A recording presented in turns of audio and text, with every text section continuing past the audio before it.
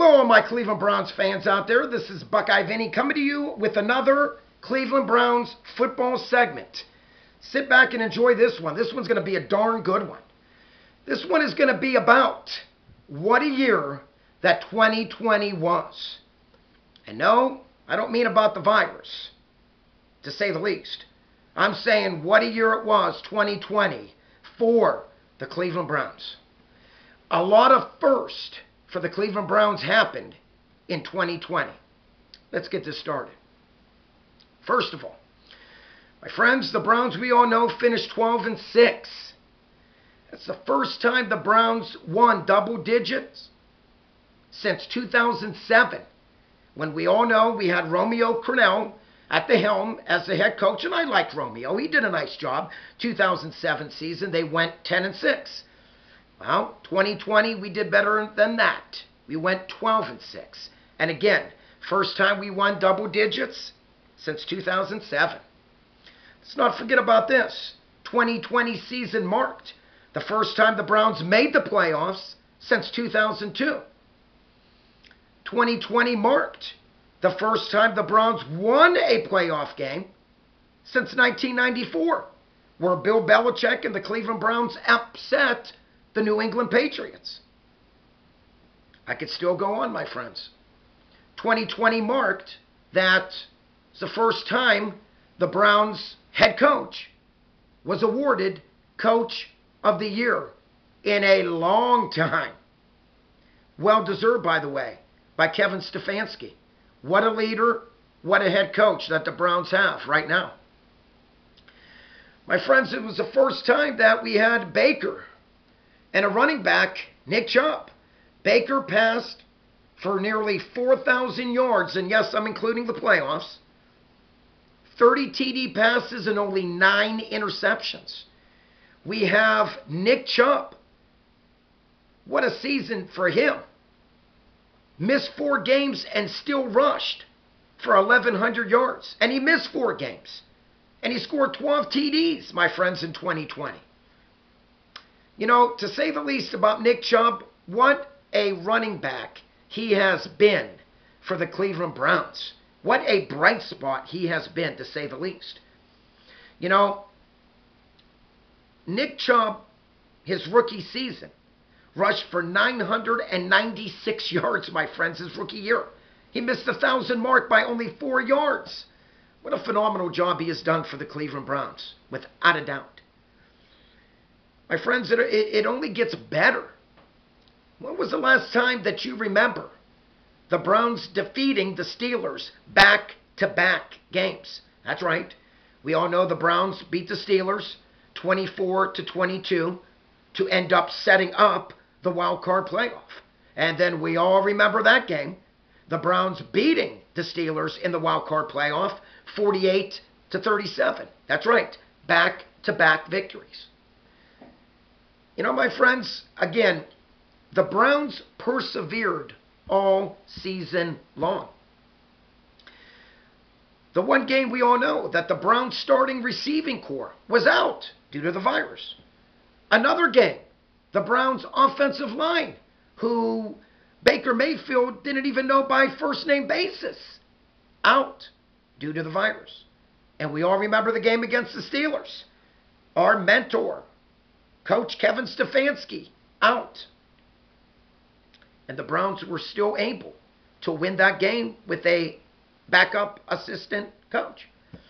Again, my friends, if you don't call that persevering for the Cleveland Browns in 2020, I don't know what you call it. This is a team that fought and played with all their heart every single time. And you know, let's be honest, as a Cleveland Browns fan, it did not get off to a good start. Okay? First game of the year, we faced our arch rival, Baltimore Ravens, in Baltimore. We got pummeled 38 to 6. And I think that left a lot of Browns fans scratching their heads saying, is this going to be another so called season where the Browns aren't even going to come close to finishing 500? Well, we all know that the Browns totally persevered and talk about a team that played as a team and gave the definition of what team play was, that was the Cleveland Browns. And I do believe that when you have a team that came together like the Browns, you have to give a lot of credit, to say the least, yes, to the players, but you have to give a lot of credit to the head coach of bringing these players together like Coach Stefanski did. Again, a phenomenal season. My friends, when can you remember the last time the Browns, in games decided, games decided by 10 points or less, were eight wins and only four losses? Again, a phenomenal season for the Cleveland Browns, to say the least. When can you remember a Cleveland Browns offense that averaged 28 points a game? Phenomenal. You know, I, I just mentioned the stats with Baker Mayfield, Nick Chubb. We had many weapons on this team. Kareem Hunt. Let's not forget Jarvis Landry, Austin Hooper, Myles Garrett. My friends, I, I could go on and on. As a Browns fan, I am pleased to say that I am a Cleveland Browns fan. And I truly mean that. Because it's easy to follow a team that just wins and wins and wins every year. Okay, that's easy. But continuously following a team that, let's be honest, when I did my video about the five worst seasons a video ago, where the Browns in 2016 and 2017 finished those two seasons combined, one win and 31 losses, and us Browns fans still stuck by that team, that says a lot about us. No doubt. No doubt. You know, my friends, uh, you know, Buckeye Vinnie here, you know, I like to keep everything real. I like to say that I'm fair and balanced, which I believe I am. I've done some major positive videos about the Browns, and just like my other video ago, I do videos, that's the truth. Okay? And that is why I did this video today. Because it is the truth about the Cleveland Browns. We are for real, and we are back, to say the least. We do have one of the best coaches in the NFL, Kevin Stefanski. That's why he was named Coach of the Year.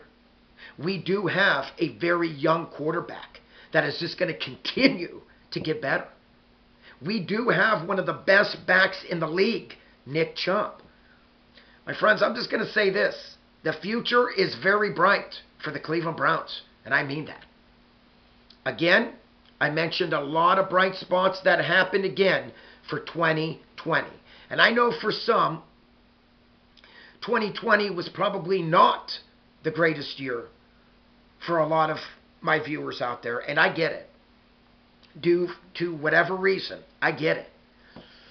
But let's just say that throughout the crazy year that 2020 was, that the Cleveland Browns brought a lot of smiles to the Browns fans out there. I know I know they did me.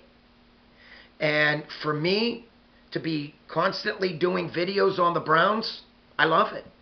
I'm hoping to do videos for the next couple years on the Cleveland Browns, to say the least. And I will continue to.